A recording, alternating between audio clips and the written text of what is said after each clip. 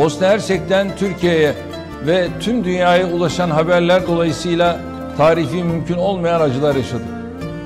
O gün sizler orada hangi sıkıntıları yaşadıysanız emin olun aynısını üstelik de uzakta olmanın verdiği çaresizlikte burada bizler de yüreğimizde hissettik. Elbette bazı izler silinmiyor. Bazı acıların telafisi olmuyor. Yitirilen gencecik fidanlar geri gelmiyor.